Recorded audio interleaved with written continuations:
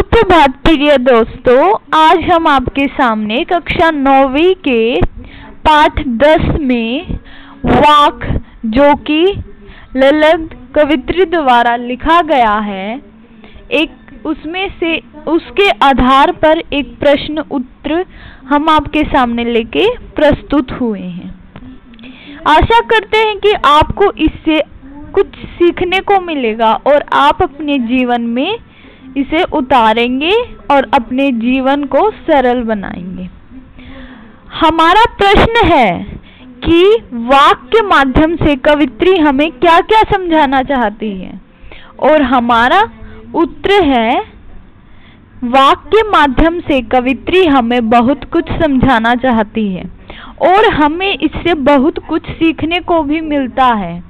हमें भक्ति करते हुए अपना कर्म भी हमें भक्ति करते हुए अपना कर्म भी करना चाहिए। ना कि कर्म को त्याग कर भक्ति का रास्ता अपनाना चाहिए। इससे हम में अहंकार आ जाता है। और हम अपने पद से भटक जाते हैं। अहंकार आ जाता है तो अहंकार नाश का कारण होता है। इसलिए हमें कभी भी ज़िंदगी में, किसी भी सिचुएशन में अहंकार नहीं करना चाहिए। और अहंकार के कारण भगवान भी हमें अपनाने से इनकार कर देते हैं। हम धरती पर, हम धरती पर कर्म करने के लिए ही आते हैं। कर्म ही अपना पहला धर्म है और कर्म के दो भाग हैं, पाप और पुण्य। हमें अपनी ज़िंदगी में पुण्य कमाने की कोशिश करनी चाहिए। अर्थात, हमें अपनी ज़िंदगी में अच्छे अच्छे कर्म करने चाहिए। अच्छे अच्छे काम करने चाहिए। ज़िंदगी एक नाव की तरह होती है, जिसे हम कच्चे धागे रूपी सांसों से खींचते हैं। अर्थात, अपना जीवन व्यतीत करते हैं। जब मनुष्य धरती पर जन्म लेता है तो उसका मन पवित्र होता है। उसे मोह माया का कोई ज्ञान नहीं होता। उसे किसी भी चीज़ का लोभ नहीं होता। परंतु जब वह धीरे धीरे बड़ा होता है, वह लोभी होता चला जाता है। अर्थात वह लोभ करने लग जाता है। उसके मन में नकारात्मक विचार आने लग जाते हैं। वह मोह माया में ऐसा फंस जाता है कि इससे निकलना मुश्किल होता चला जाता है। उसने जो सोचकर इस धरती पर जन्म लिया था, वह उसे पूरा ही नहीं कर पाता, अर्थात अच्छे कर्म पुण्य नहीं कर पाता। और जब वह मृत्यु के निकट आ जाता है, वह हिसाब लगाता है कि उसने ज़िंदगी में क्या अच्छे कर्म किए कि भगवान उसे जन्म मरण के बंधनों से मुक्त कर दे? यहाँ पे जन्म मरण के बंधनों से मुक्त कर दे यानी कि मोक्ष दे दे।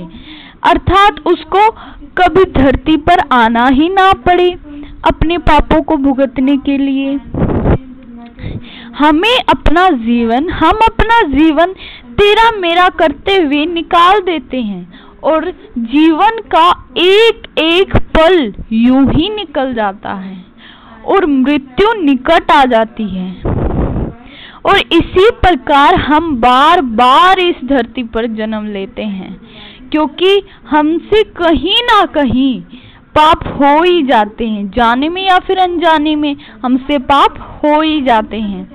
भगवान कण कण में बसता है। हमें इससे ढूँढने की ज़रूरत नहीं है, क्योंकि इसकी नज़र पत्ते पत्ते पर है, अर्थात इसकी नज़र हम सब पर है।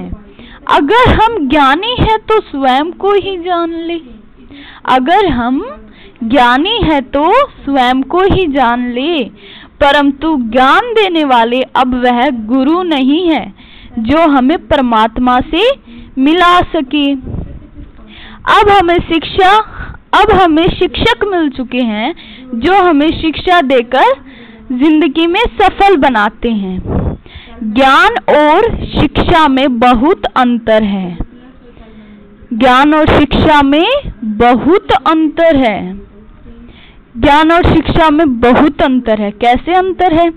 शिक्षा से हमें लक्ष्य में लक्ष्य में सफल शिक्षा से हम लक्ष्य में सफल हो सकते हैं, लक्ष्य को पा सकते हैं। परंतु ज्ञान से हमने, परंतु जो हम ज्ञान लेते हैं, जो हम ज्ञान प्राप्त करते हैं, उस ज्ञान से हम अपने आप को जानकर पहचान कर अपनी ज़िंदगी सफल और सरल बना सकते हैं। हम अपनी ज़िंदगी में संतुष्ट रह सकते हैं ज्ञान से, ज्ञान प्राप्त करने से।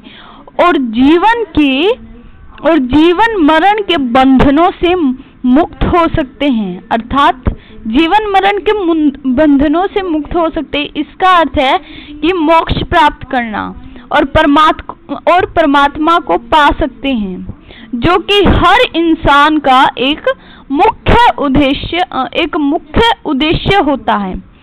परंतु वह धरती पर आकर मोह माया में ऐसा फंस जाता है और उसी उद्देश्य को वह भूल जाता है।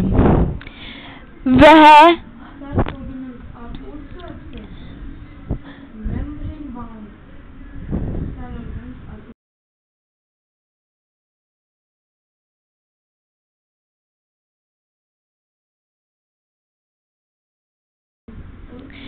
वह असली उद्देश्य को भूल जाता है क्योंकि वह और उद्देश्यों में लग जाता है।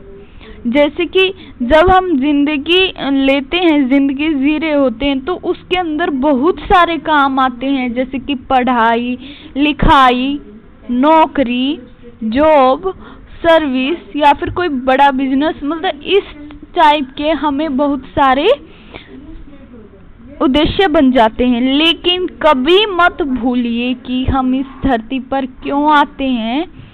हम इस धरती पर अच्छे कर्म करने के लिए आते हैं, ताकि हम अच्छे कर्म करें और इन जीवन मरण के बंधनों से मुक्त हो जाएँ। याद रखिए कि इंसान का जीवन सबसे श्रेष्ठ श्रेणियों में आता है। इंसान का जीवन सबसे श्रेष्ठ श्रेणियों में इसलिए आता है क्योंकि इंसान के पास दिमाग होता है, उसे अच्छे बुरे का अच्छे से परख होती है। और इसलिए इंसान की जीवनी में जो आता है, उसे, उसके पास बहुत अच्छा मौका होता है कि वो मोक्ष प्राप्त कर ले, लेकिन वो फिर से मोह माया में फंस जाता है और इस उद्देश्य को वह भूल जाता है। आंसर पे आते हैं उत्तर पे आते हैं, इस वाक से कवित्री हमें बहुत कुछ समझाना चाहती है और हमें इसे पढ़कर खुद ही अंदाज़ा लगा सकते हैं कि हमें इससे बहुत कुछ अपने आप से ही समझ आ जाता है, तब हम इसको पढ़ते हैं कविता को। तो ये था हमारा इसका आंसर। अगर आपको इससे कुछ अच्छा सीखने को या फिर जानने को मिलता है तो आ, तो आप इस वीडियो को लाइक शेयर एंड कमेंट करें। शेयर करें ताकि सबको यह अनोखी बात समझ में आ जाए और सबका जीवन सरल बन जाए। धन्यवाद।